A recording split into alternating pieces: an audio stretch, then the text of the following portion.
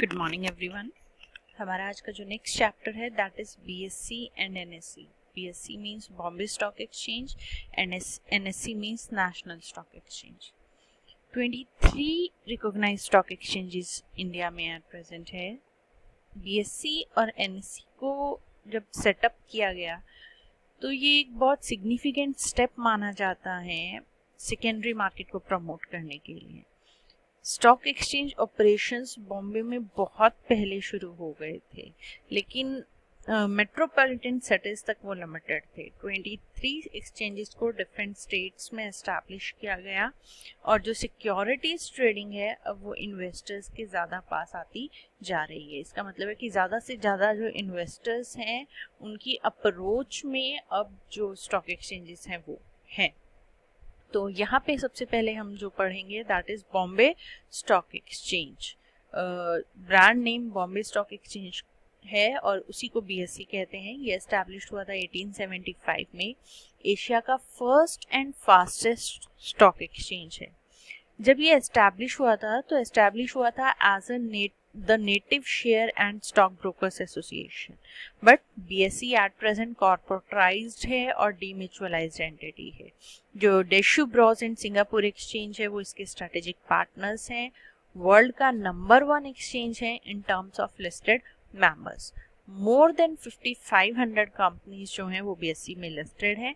जो market capitalisation है companies की, जो लिस्टेड है बीएससी में, वो 1.68 ट्रिलियन डॉलर थी on March 2015 BSC first exchange है इंडिया का और वर्ल्ड का सेकेंड एक्सचेंज है, जिसे आईएसओ 9001 2000 सर्टिफिकेशन मिला है। ये क्वालिटी सर्टिफिकेट होता है।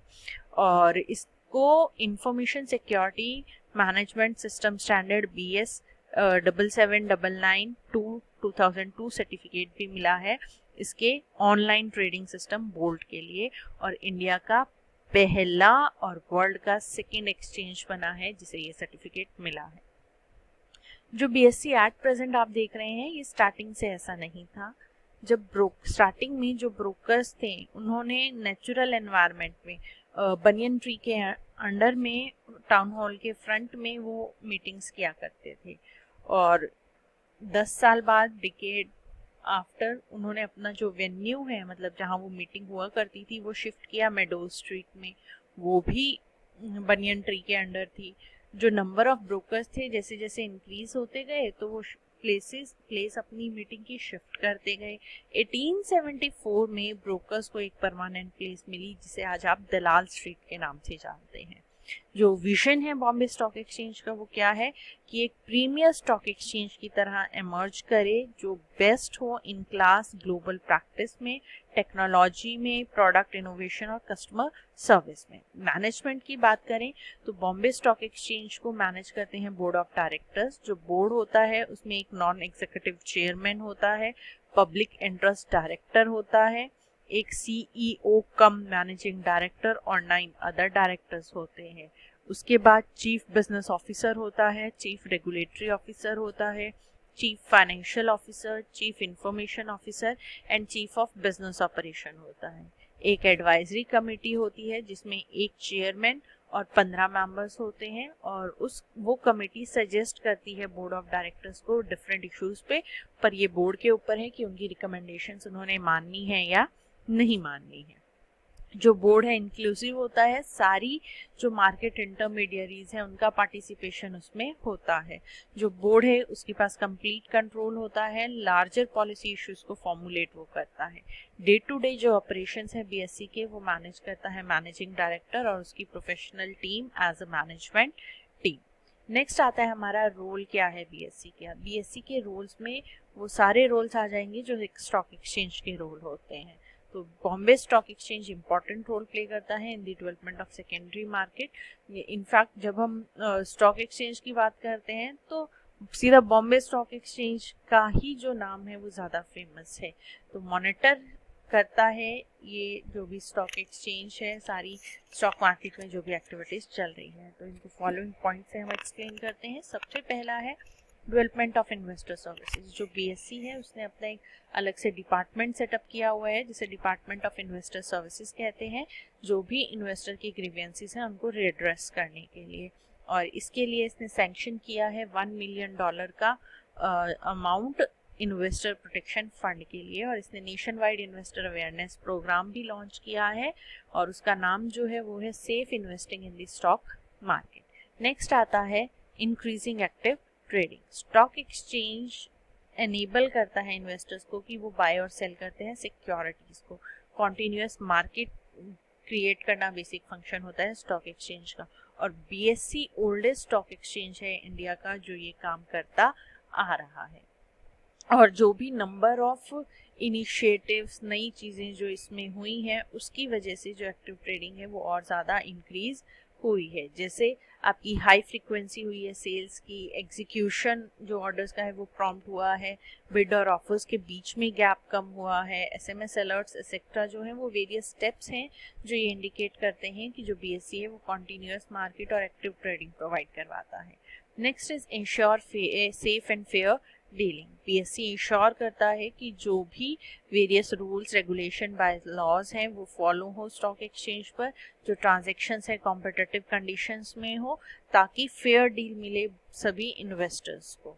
Then provides adequate liquidity liquidity more than 5500 companies यहाँ पे लिस्टेड है और बीएससी उन सभी कंपनीज़ के शेयर्स को लिक्विडिटी प्रोवाइड करवाता है। Then next is dissemination of information जो बीएससी है various information various interested parties को पहुंचाता है through various publications BSC publish करता है इन्वेस्टर गाइड्स एजुकेट करने के लिए इन्वेस्टर्स को जो बीएससी प्लस है, वो एक्सक्लूसिव इन्फॉर्मेशन प्रोवाइड करवाता है प्रीमियर यूज़र्स को.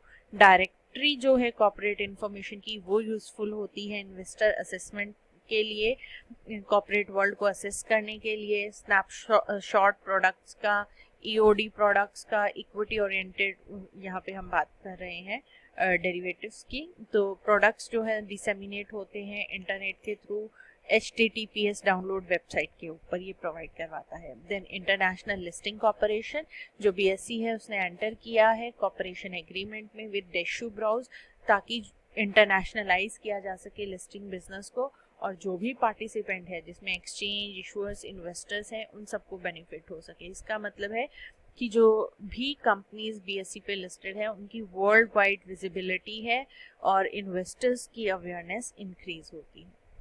देन स्विफ्ट नेटवर्क बीएससी पहला एक्सचेंज है इंडिया का जो कनेक्ट है स्विफ्ट नेटवर्क से। स्विफ्ट नेटवर्क क्या है? जो ग्लोबल बैंक्स और मार्केट इंफ्रास्ट्रक्चर का नेटवर्क है, जो इन्हें आपस में एक दूसरे को जो ये मैसेजेस रिसीव करते हैं, वो स्विफ्ट के थ्रू करते हैं। Then barometer of economy BSC sensex को इंडिकेटर माना जाता है इकोनॉमिक ट्रेंड का मतलब कंट्री की इकोनॉमी जो है वो ग्रो कर रही है नहीं कर रही है, है वो आपको बीएससी सेंसेक्स से अंदाज़ा लग जाता है। Then investment priorities BSC facilitate करता है इन्वेस्टर्स को प्रोवाइड करवाता है कि वो डिफरेंट काइंड ऑफ़ सिक्योरिटीज़ में इन्वेस्ट कर सकते हैं।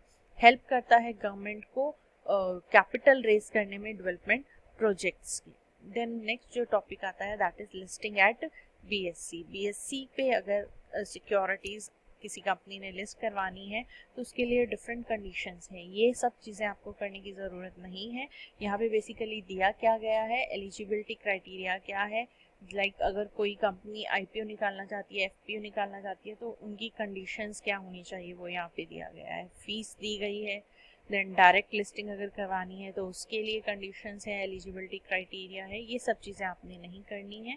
नेक्स्ट जो चीज़ यहाँ पे इंपॉर्टेंट आपने करनी है, जहाँ से क्वेश्चन आता है that is listing procedure at BSC पीछे हमने चैप्टर में एक टॉपिक किया है लिस्टिंग प्रोसीजर जहाँ पे हमने पूरा किया है, वो इन जर्नल लिस्टिंग प्रोसीजर था किसी भी स्टॉक एक्सचेंज का, यहाँ पे हम पर्टिकुलरली बीएससी का पढ़ रहे हैं। और ये चीज़ हमने वहाँ पे भी बात की थी कि जो लिस्टिंग प्रोसीजर है, हर एक स्टॉक एक्सचेंज का डिफरेंट होता है। तो यहाँ पे हम जो लिस्टिंग प्रोसीजर कर रहे हैं, वो बीएससी का कर रहे हैं। सबसे पहला जो स्टेप आता है that is permission to use the name of BSC in an issuer company prospectus जो कंपनी अपनी सिक्योरिटीज को लिस्ट करवाना चाहती है। जो ऑफ़र कर रही है पब्लिक इशू के थ्रू उसे पहले परमिशन लेनी पड़ेगी बीएससी से कि वो उसका नाम अपने प्रोस्पेक्टस में या ऑफ़र फॉर सेल डॉक्यूमेंट्स में दिखा सकती है या नहीं है। उस प्रोस्पेक्टस को रजिस्ट्रार ऑफ़ कंपनी के पास फ़ाइल करने से पहले उसे बीएससी से परमिशन लेनी पड़ेगी।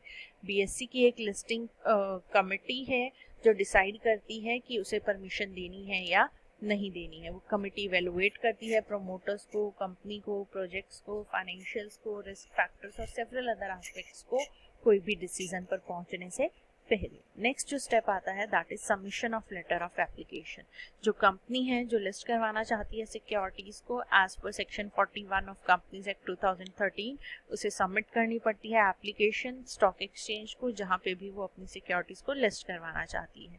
देन आता है allotment of securities as per listing agreement एक कंपनी को कंप्लीट करनी पड़ती है अपनी अलॉटमेंट ऑफ़ सिक्योरिटीज जो उसने पब्लिक को ऑफ़र की है विद इन थर्टी डेज़ जब उसकी सब्सक्रिप्शन लिस्ट क्लोज हुई है। जो बेसिस है अलॉटमेंट का, वो अप्रूव होना चाहिए डेजिग्नेटेड स्टॉक एक्सचेंज से। और अगर बुक बिल्डिंग इशू है तो अलॉटमेंट को विद इन फिफ्टीन डेज़ जब आपका इशू क्लोज हुआ है कंप्लीट आपने करना है। अदरवाइज़ इंटरेस्ट के साथ at the rate of fifteen आपको इन्वेस्टर को पे करना पड़ेगा। Then next is trading permission as per सभी गाइडलाइंस जो ईश्वर कंपनी है, वो सारी फॉर्मेलिटीज कंप्लीट करेगी ट्रेडिंग की within seven working days जब बेसिस फाइनलाइज हुआ है अलॉटमेंट जो कंपनी है उसे कंप्लीट करनी है सारी formalities related to allotment of securities dispatch of allotment letters credit करना डिपॉजिटरी के अकाउंट में रिफंड ऑर्डर्स करना ऑप्टेन uh, करना लिस्टिंग परमिशन के लिए.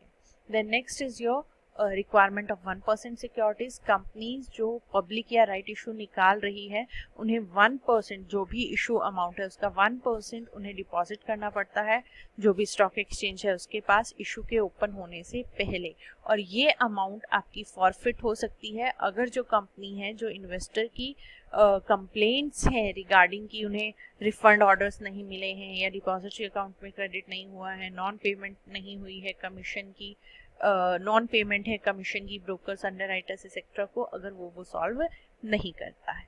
तो ये था लिस्टिंग प्रोसीजर बीएससी पे।